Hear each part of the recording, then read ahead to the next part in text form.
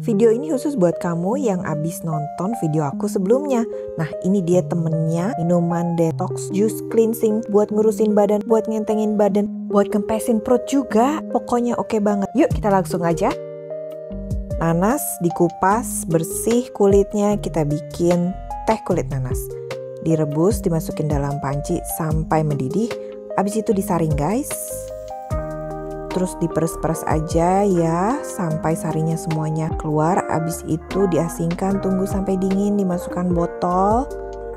Sembari nunggu dingin kita potong-potong bahan-bahan yang lainnya yaitu timun. Timun dipotong-potong. Ini aku timunnya gede banget jadi aku pakai satu setengah aja nggak semuanya.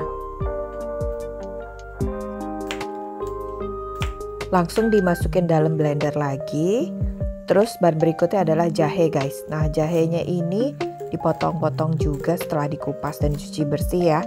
Dipotong-potong gitu kurang lebih ukurannya dua jempol deh.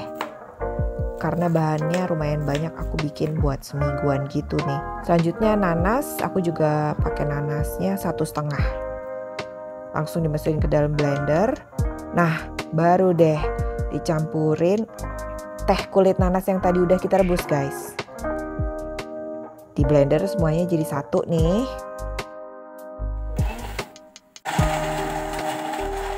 Sampai halus. Terakhir baru peres air lemon.